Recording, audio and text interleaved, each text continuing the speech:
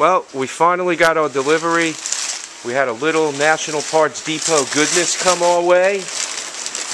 And uh, we've got some parts, man. Hey. There's that new trunk for. Yeah.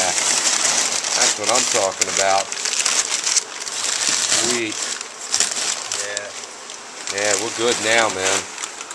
And they even wrapped it in Christmas paper. How nice of them. Oh, there's a part down there. What do we got rail. down there? Let's see that frame rail. I don't want to pull it out. Let's see.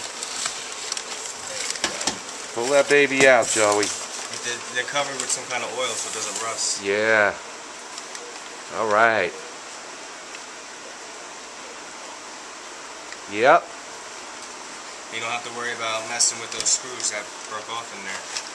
They got them in there already. It's all good to go. Nice. All right, guys. We'll catch up with you next time. We're at the Saturday Morning Garage.